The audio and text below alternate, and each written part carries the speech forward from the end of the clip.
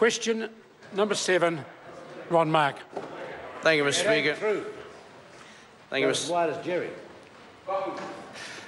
Thank you, Mr. Speaker. My question is to the Minister of Police and asks, does she stand by all her statements?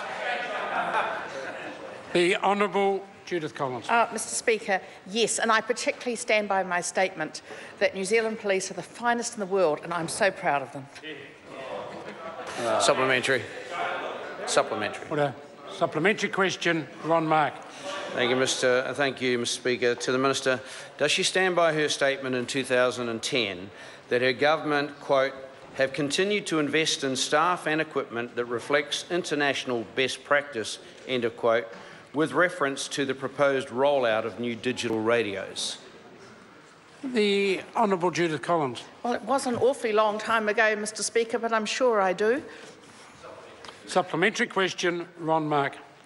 Thank you, Mr. Speaker. To the Minister, why then, if the police secure digital radio network reflects, quote, best practice, end of quote, are regions outside of the main metropolitan centres still relying on the unencrypted analogue radio network that has been monitored and listened into by criminals?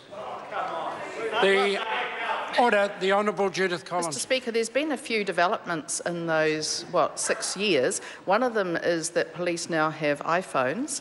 Um, there's cellular um, network work, uh, work that's going on with Vodafone to make sure that they are able to be um, accessed all around the country. And so there's some work going on there. Supplementary.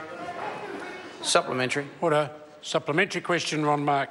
To the Minister, in response to that answer, accepting that cell phone coverage isn't still throughout rural New Zealand, why did Police Minister Anne Tolley in 2013 scrap plans to extend the secure digital radio network for police into rural and provincial New Zealand, reversing your commitment in November, you're the Minister's commitment in November 2010 that that would happen?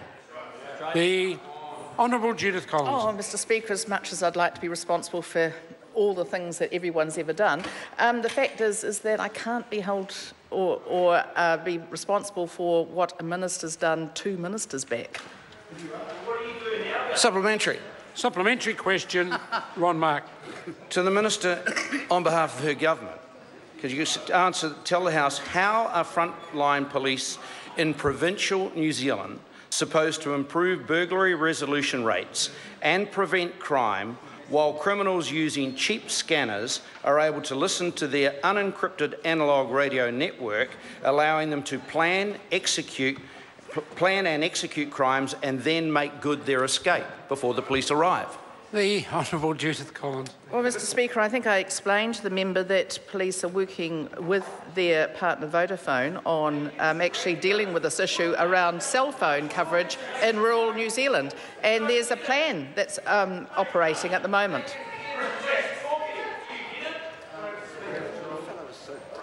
Point of order.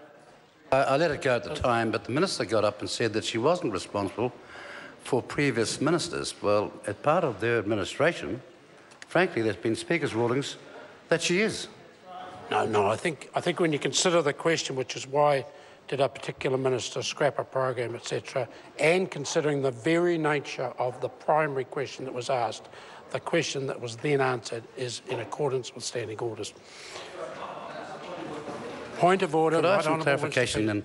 Are you saying then that a statement from the minister that she's not responsible for previous ministers is in fact now a change in the uh, order of this House? No, no, I'm not saying that at all. I'm saying that when I considered the question that was asked and then the answer that was given, and particularly in light of um, Speaker's ruling 1913 and 1914, then the answer that was given was completely in line with standing orders.